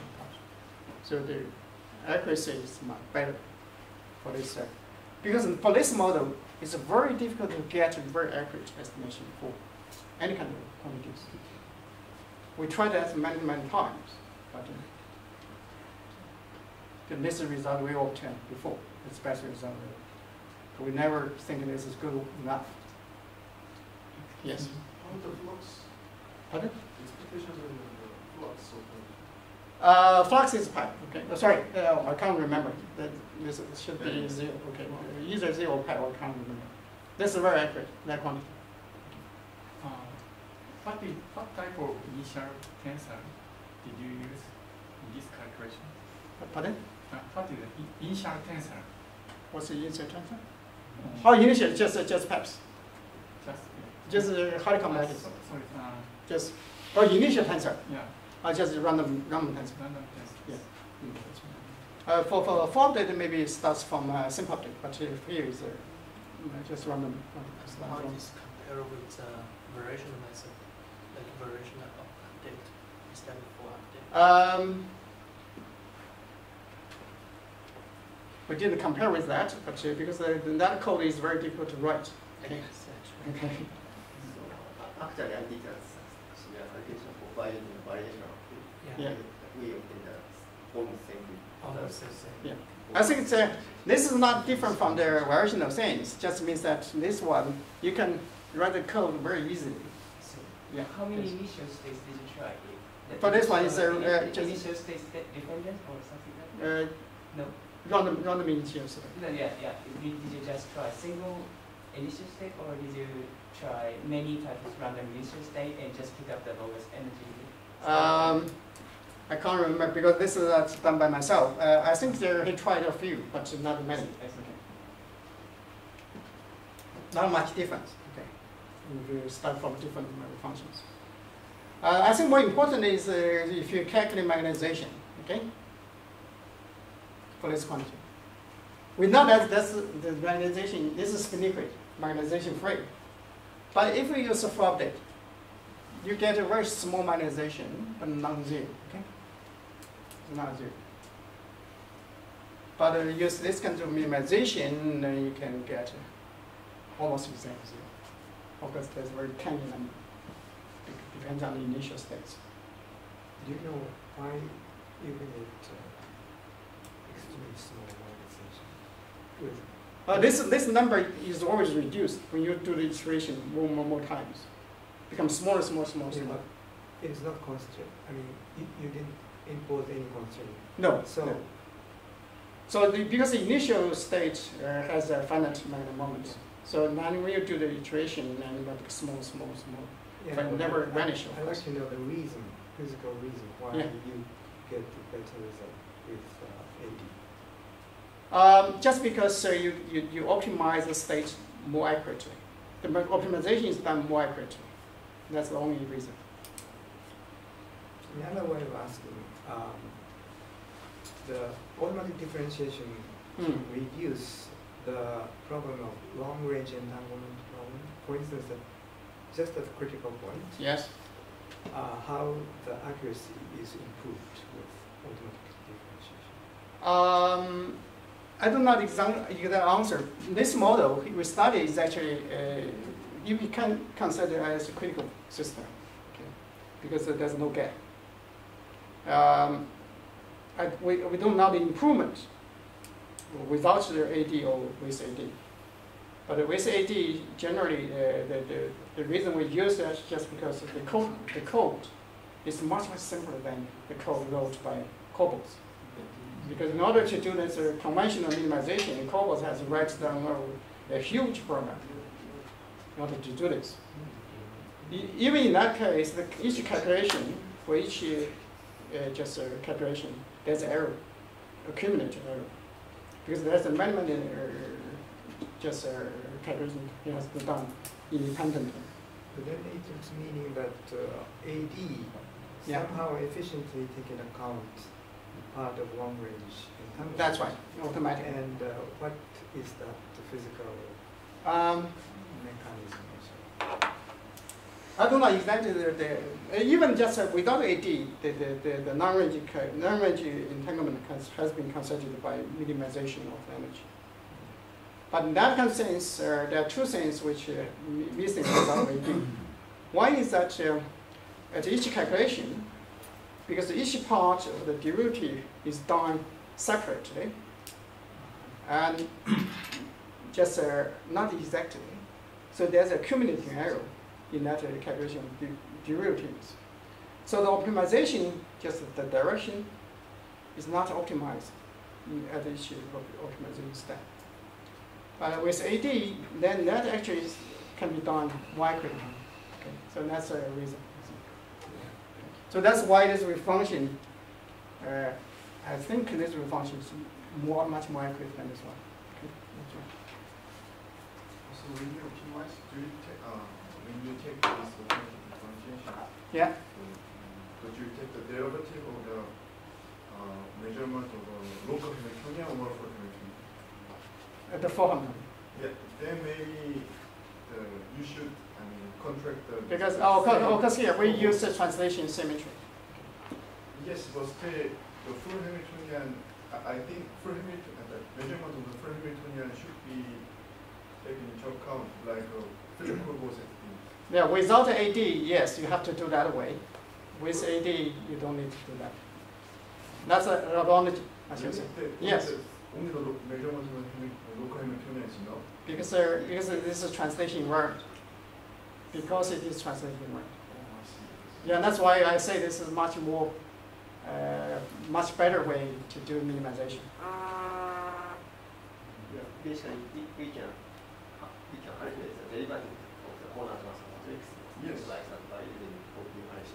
Even if, uh,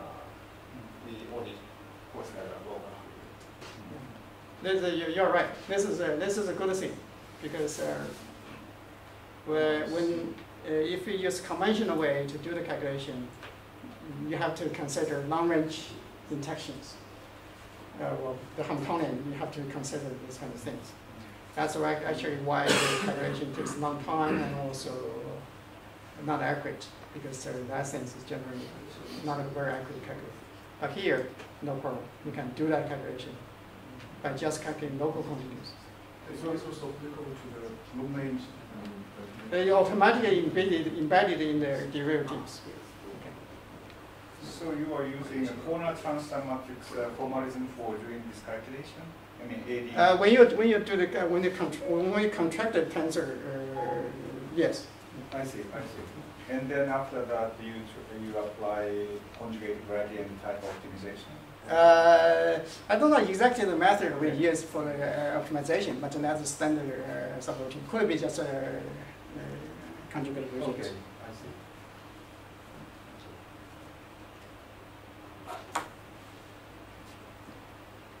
Okay, um, so now I move to the, the, the calculation of the, oh, I already used, used up all my time, right?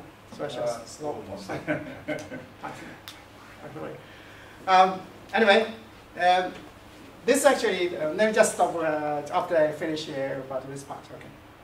Um, this is actually mostly difficult part in, the, in all the tensor calculations. Because the reason we cannot uh, use a very large bond dimension just because this quantity costs very high, the calculation. So, because uh, even in the minimization of the, of the energy, we need to calculate this kind of quantities. So this kind of calculation, the cost is high just because uh, we, whenever we do these calculations, we need to contract two tensor network states. So this is, uh, this is one, this is a function, and we need also a bra and a ket. Then this means that uh, we have to contract this one. The standard way is to first trace out these are physical bonds, these are vertical bonds. Then we get your new tensor states. This is actually the bond dimension is square. So that's actually the problem. If bond dimension D is 5, then it's 24. So actually, this is a very big increase in this one. So whenever people use to contract this uh, tensor network using CTMRG or use uh, iTEBD, whatever the method used, this bond dimension is too big. 5 is still small, but if it dips to 10, then it's 100. Okay? That's a very big number. So the computational cost in order to contract this tensor is roughly this, this order. Of course, you can write a very smart code to reduce this uh, exponent from 12 to 11 or to 10 even, but still quite a big number. So it's very difficult to let it go beyond, uh, for example, 13. Okay.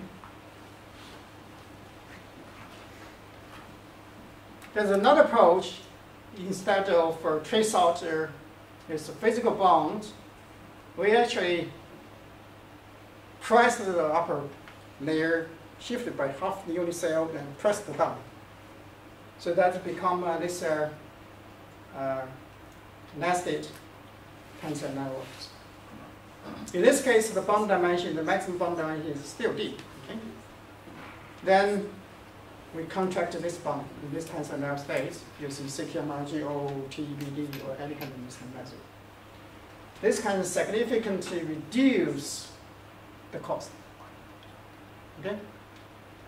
Um, it converges slower than the double layer approach, but uh, the cost is much lower.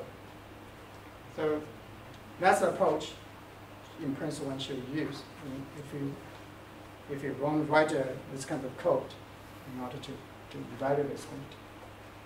Um, so anyway, so um, I should I think I should stop here.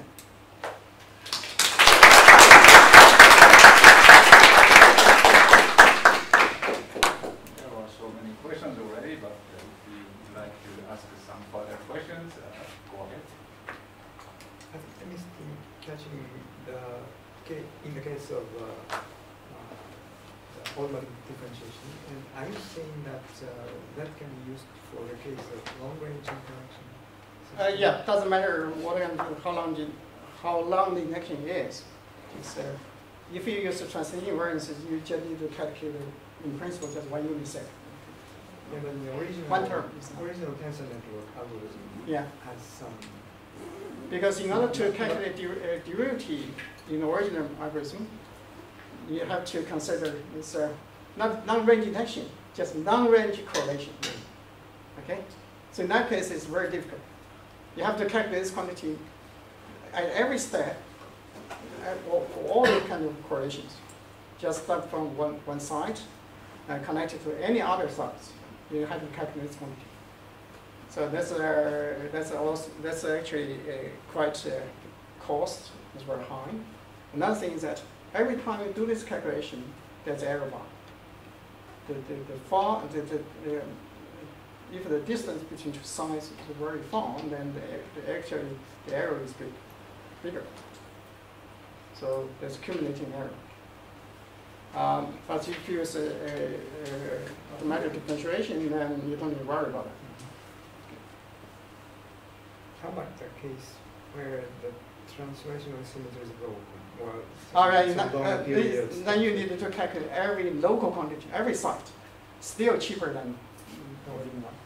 You have to calculate, or you have to, in principle, you have to calculate every, every point. Uh, in that case, it also depends on the, how big the system is.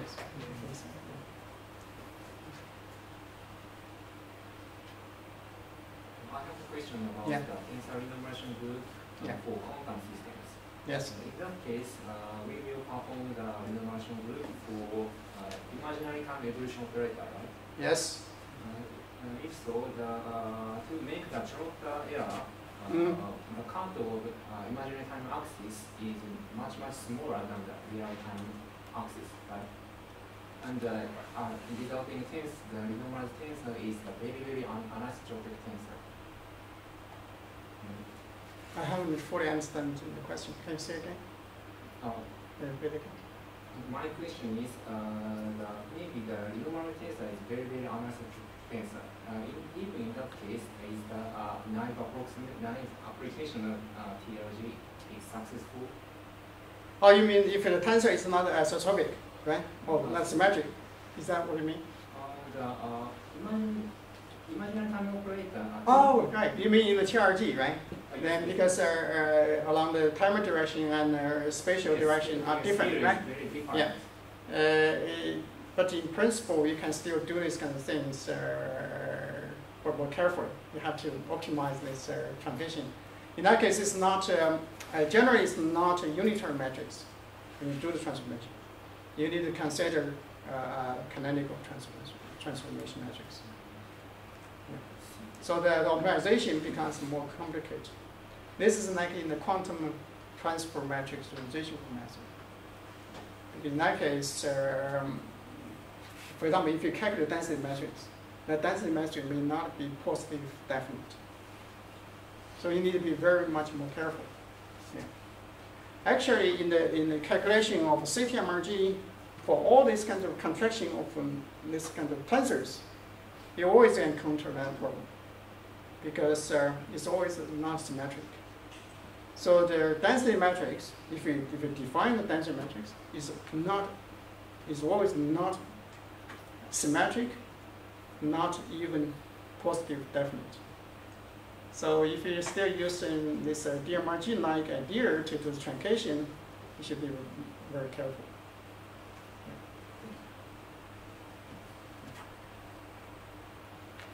Question? Okay, thank you again. Right.